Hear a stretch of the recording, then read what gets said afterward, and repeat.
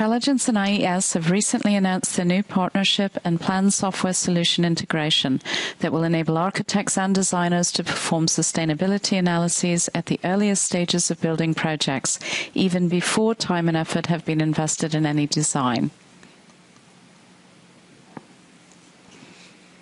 So, how will this work? Trelligence Affinity software delivers architectural programming tools, conceptual and schematic design tools, and BIM interoperability with Revit, ArchiCAD, AutoCAD, and SketchUp, along with reports and analyses that monitor and track the design to ensure design to program compliance. We're integrating Affinity bidirectionally with IES Virtual Environment Software Solution. IES VE software delivers a comprehensive range of analysis tools for the AEC industry VEware, VE Toolkit, VE Gaia, and VE Pro to analyze, assess, and quantify different design concepts and low carbon technologies, enabling design of sustainable, high performance buildings that don't cost more. By integrating these two solutions, design firms can make critical decisions much earlier in the process and achieve significant improvements in the energy efficiency, cost effectiveness, and sustainability of their building designs. Let's look at a couple examples. First of all, I will show you how simple it is to run some sustainability analyses based solely on the program model during the pre-design phase. Then I'll show you how easy it is to run analyses and get immediate feedback on designs at the conceptual or schematic design phase, as well as continue this through the detailed design phase, refining the design based on results while still tracking design to program compliance. Both of these approaches help the architect designer to answer some basic questions that will guide early design decisions, with a view to identifying potential sustainability issues and opportunities to increase the energy efficiency of the design, including LEED compliance. Here we have an Affinity project file with a simple space program for a corporate office building. This is one of a number of program views in Affinity that are easily customized by the user. For example, I can move data columns and add new information. In this case, I've selected the executive group department and want to see or edit the room dimensions as well as the quantities. My overall program is for approximately 80,000 square feet. I can also view it in any number of affinity reports. For example, this space program report that shows me just the department and overall quantity and area totals. And this detailed space program report that displays the room requirements as well. Now, to run some early sustainability analysis based on this program model, I can use a couple tools in Affinity to capture some information required by IESVE. Firstly, I can launch a simple flash based questionnaire in Affinity and enter the following information for use by VE. For example, the building type, in this case, it's an administrative building the longitude as well as the latitude, I'm specifying Chicago.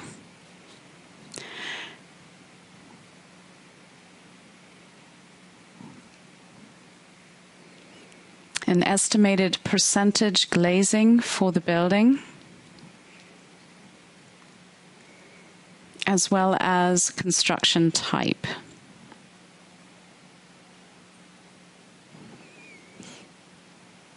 I then submit the questionnaire, which updates the Affinity project file.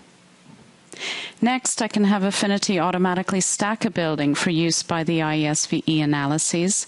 Uh, they do require some basic geometry as well as the form and function information. I can also generate multiple stacked buildings in different scenarios so that I can compare the results, helping to guide me through some initial and possibly critical design decisions. In this case, I'm going to generate a building with a large footprint, approximately 16,000 square feet. Um, enter this into a scenario that I've called large footprint. Affinity will generate the stacked building, resulting in a four story building, uh, which has been stacked ground up, department by department. This is a view of the building itself, just in 2D form, but I can also look at it at 3D. Here you can see the four stories as well as the departments. Now that I have a stacked building, basically a design model, I can run some of the IESVE analyses directly from within Affinity. The first report I will run is the climate review. This will take the property information from Affinity, including the latitude and longitude of the site, in this case, Chicago. The report itself, once it's run, it will display within the Affinity window, and it will provide various climate metrics and information that should be heeded in the design stage, including things like the need to design to minimize heating energy given the climate metrics.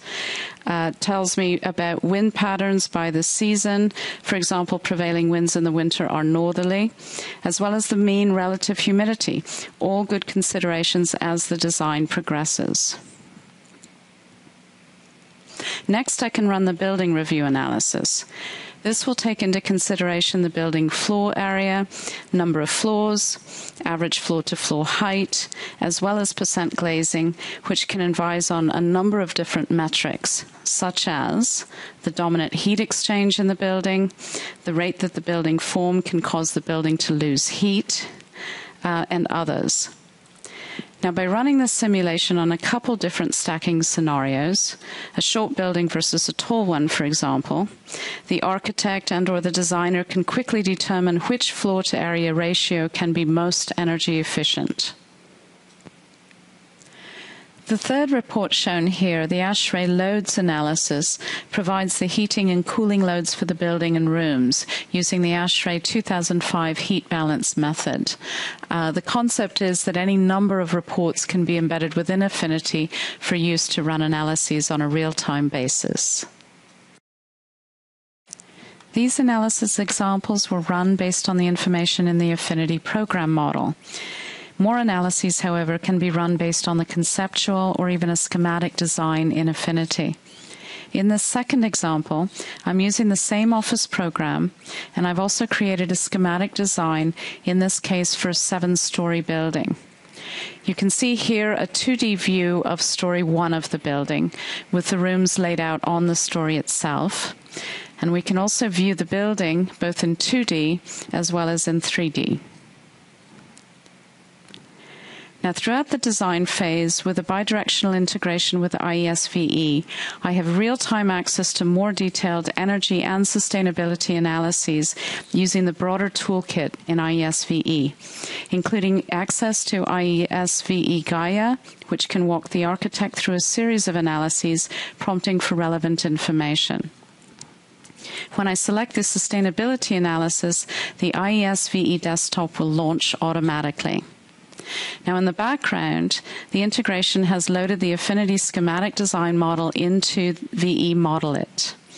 It then displays this dialog box from which I can select from a wide range of types of analysis, including climate reviews, building reviews, and materials reviews. The analyses include several LEED reviews as well, including daylighting, water, and carbon reduction. From the Analysis tab, I can run additional analyses, including, for example, solar shading, which simulates shading conditions over a time period.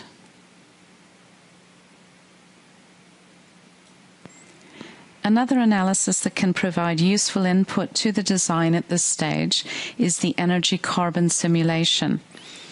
It first runs several calculations in the background, including the Apache thermal analysis, which incorporates climate data over a specified time period, in this case, a year. The generated report is then displayed, which gives me information on a number of different uh, aspects of the simulation. One is the building energy use intensity, the proposed carbon intensity, and reports on whether the 2030 challenge target is met for this type of building. In this example case, the target is met. In conclusion, this new upcoming bidirectional integration between Trelligence Affinity and IES virtual environment provides the architect with a rich set of information related to the sustainability of the building project at the very early stages, starting with the program model, before time and effort have been invested in creating a design, and throughout the conceptual and schematic design phases, as well as the detailed design stages in BIM, allowing the designer to easily and quickly create multiple design scenarios, gather the intelligence to make critical design decisions much earlier in the process, and ensure a more sustainable and cost effective design.